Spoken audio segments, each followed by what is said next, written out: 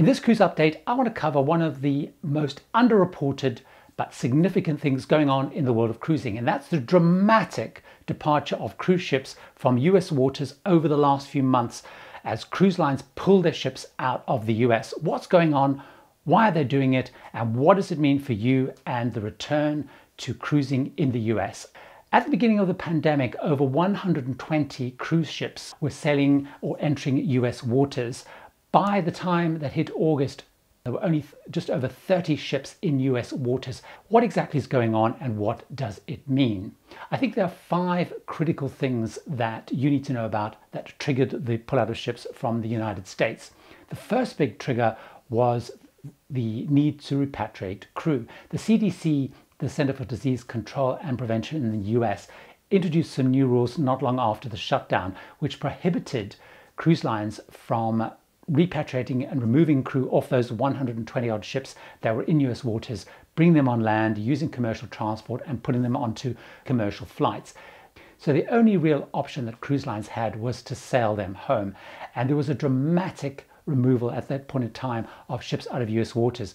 The Carnival Corporation group, which includes obviously Carnival, Holland America, Princess, Seabourn, they sent uh, over half their fleet all around the world to repatriate crew. They took home 40,000 crew members. That was the first big trigger for a lot of ships leaving US waters.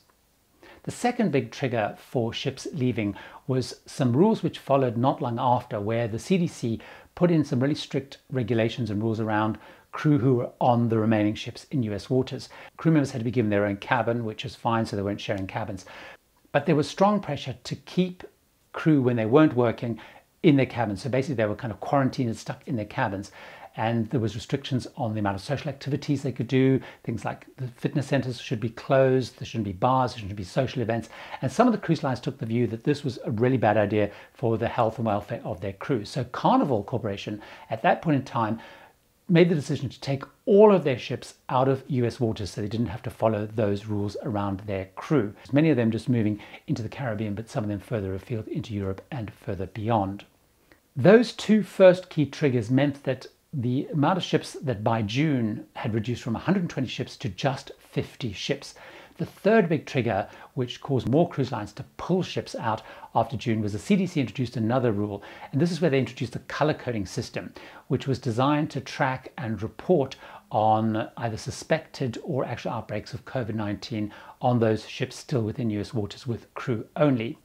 The system when it came in was pretty controversial and disputed a lot by the cruise lines. Only one ship and one cruise line got a full green early on, and that was actually the Bahamas Paradise line. At that point in time, many more ships started to leave. So when that system came in in June, there were 50 ships, but by the beginning of August, 18 ships had left, and there was only 32 ships in US waters.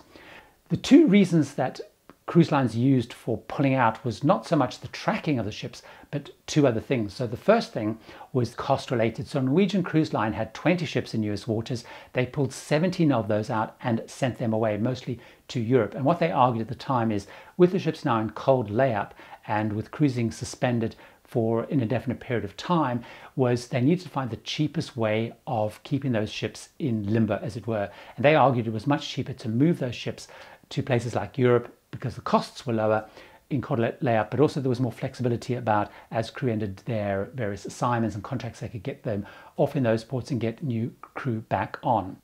The next big trigger was the need to send ships to Europe to the shipyards to do various maintenance work and updates. So, for example, Virgin sent their Scarlet Lady back to Genoa, where it went through some updates and changes, for example, introducing the whole filtration system to improve their whole air conditioning.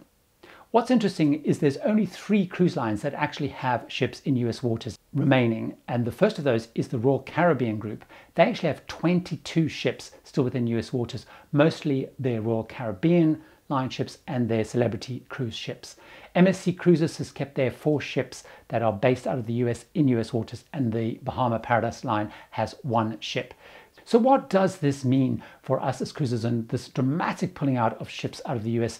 All the cruise lines have said, and we've seen this in Europe as well, is that when ships do return to service, they're likely to be looking at what itinerary are going to be running out of the US, and how many ships and which ships. So they have ultimate flexibility. They are unlikely to come back with existing itineraries and they're unlikely to come back with the full fleet. They don't need all of their ships close because I think it's extremely unlikely, as the cruise line is telling us, that when cruising is given the go ahead in the US, it's going to start with a big bang. It's going to dribble back with various trials, as we've seen happen in Europe with a few ships at a time.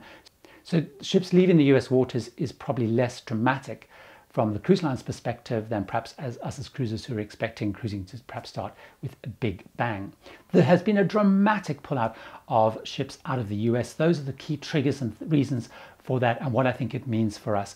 Remember, I have frequent cruise updates, so why don't you watch others of those now? And certainly make sure you're subscribed to the channel to watch the updates as they come through.